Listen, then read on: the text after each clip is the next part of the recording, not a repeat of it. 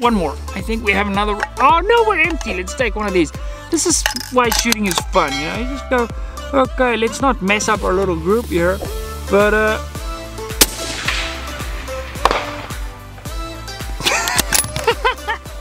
Welcome back to the channel. In today's video, we are going to chat about an essential skill for any long-range shooter, precision rifle style shooter, and that is the ability to spot your own hits. Now, to be able to spot for yourself is an essential skill because one, you'll be able to pick up on those misses. If you don't see where that miss lands as a result of bad recoil or whatever the case may be, bad follow through, or you're moving on to your next target already, then your next shot, if you have to re-engage that target, is going to be another first round effectively because you're still then guessing. Whereas if you spot that miss or you spot how the plate reacts, you'll be able to make a correction based on that. And that is exactly what we're going to be discussing in today's video. Now, our video is brought to us by our friends over at Modular Driven Technologies. You guys have seen this little 20-inch 6.5 Creed of mine in their ESS chassis. To shop chassis systems like this, head on over to mdttac.com Anyway, okay, so what we're gonna do, we have a target out at 350 yards I just zeroed this rifle on paper.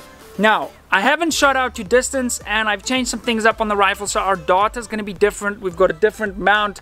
Uh, we're running a suppressor this time.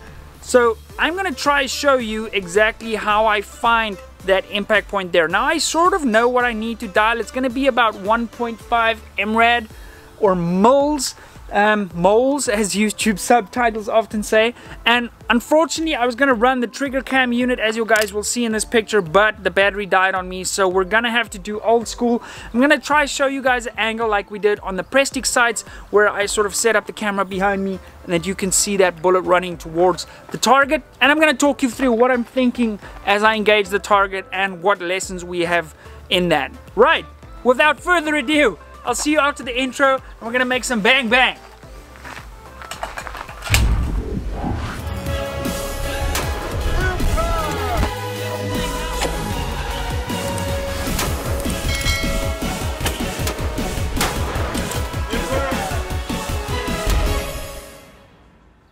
Right, so we've set up to our target. Uh, let me just try and find it here. There we go. You should be able to see my suppressor in this sort of corner of the other shot we've got going on here. So basically what we're gonna do, I'm gonna dial what I think my elevation hold should be according to my ballistic calculator, which is 1.5 MRAD. Okay, I'm pretty much just gonna hold a little bit to the left maybe because we've got some wind coming from this direction, which is strange because we don't often have wind from that direction at this range. Right, let's see everything's going. Okay, so I'm gonna hold a half a MRAD and make sure everything is 100% like squeezing the trigger nice and slowly everything's good breathing position everything's good because here it's vital that you squeeze off a good shot because if you don't then you'll have bad information to make your correction on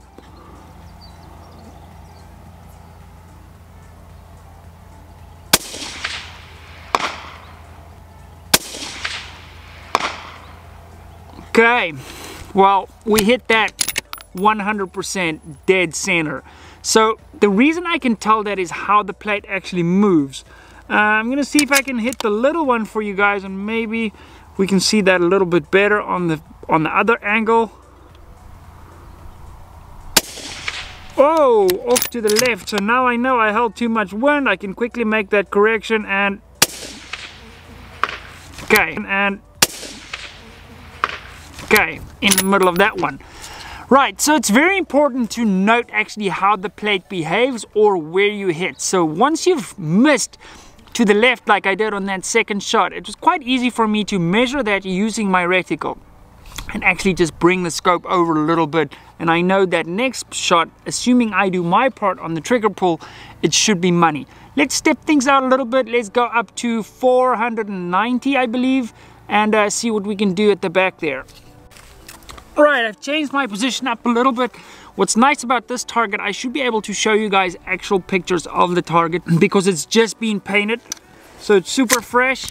Uh, I'm gonna add, uh, I haven't looked at my ballistic calculator at all for this, so I'm gonna add about seven clicks and hopefully it gets us there. If not we should be able to just use the information as is the point of this video to make the corrections and get ourselves on target. And once we've got that we can go back and recalibrate our ballistics app as we do in this video. Right so I've dialed 2.2 130 grain ELDM as you guys can see down here at about 2.8 so 2.2 should get us there. I'm gonna hold about a half a mil for wind and let's see what we get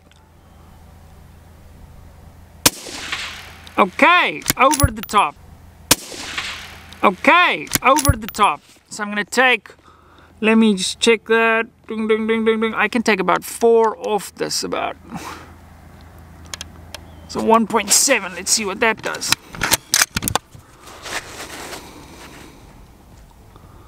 But the wind looked good because I could actually see the bullet flying and that's something we'll chat about just now.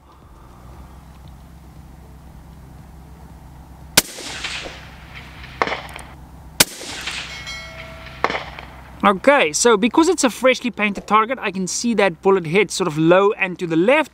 And I can use my reticle now to see, okay, if I split that difference, I need to add back about two clicks. And my wind call was maybe a little bit too aggressive because I can see now where that bullet hit and it hit to the left. So I'm holding a little bit too much wind. So I'm going to take just a tad off my wind call um, although I feel on my body now the wind is pushing a little bit more. Um, you guys can't see it, but I've got this dead cat on the other camera. Um, and I can see it moving a little bit more. But nonetheless, I'm going to take a little bit off that wind call, just a tad. And we should hit in the middle of the plate now.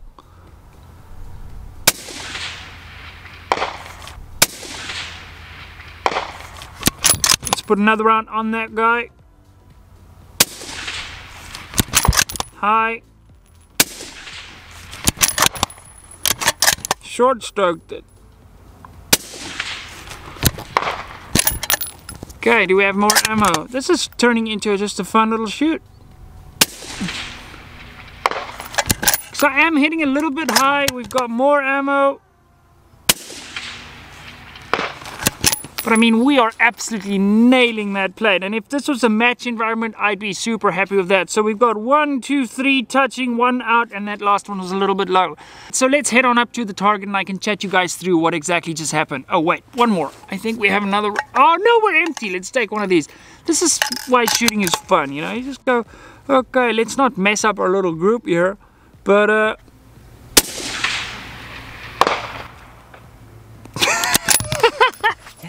Let's see where that one went. Uh, that's right in the rest of the group.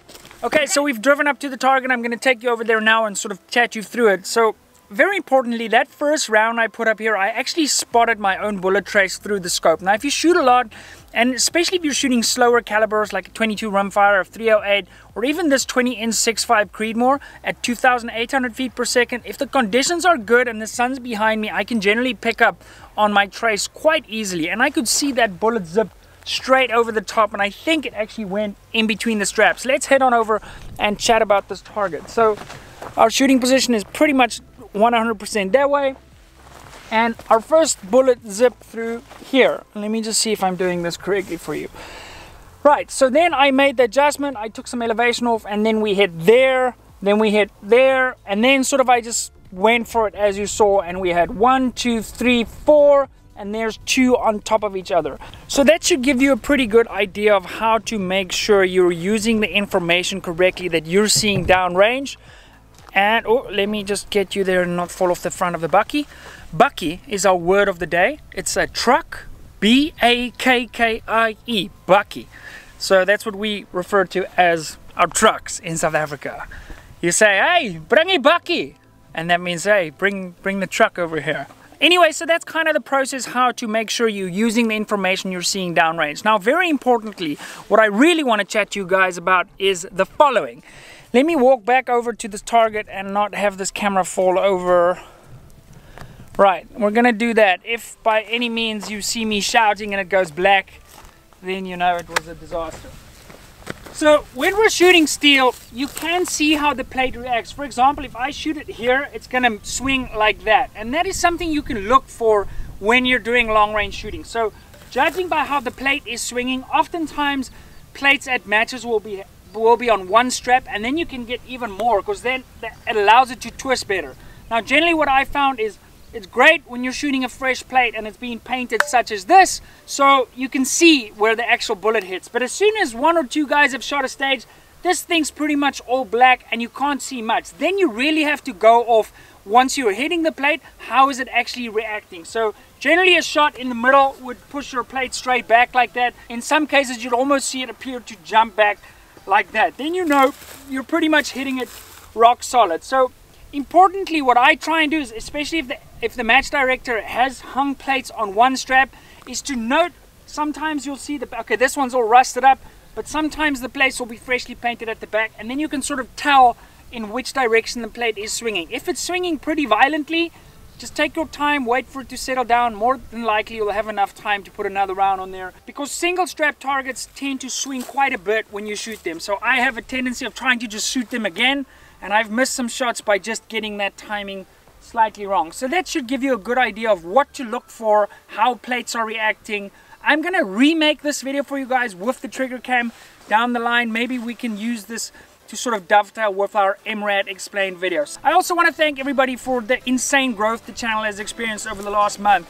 You know guys, I come out and make these videos for you if a thousand of you watch them. And we've had this month over a million views in one month, which is absolutely incredible and I must like I'm so humbled that you guys choose to watch my videos I'm just a dude from Cape Town that likes to shoot and make content for you guys so thank you so much for everybody supporting the channel anyway click down here if you're not subscribed already. Watch one of my latest videos up here. My favorite videos are down here and if you want to support the channel we'd really appreciate that. You can click down here. I will see you guys in the next one. Stay safe and uh, happy shooting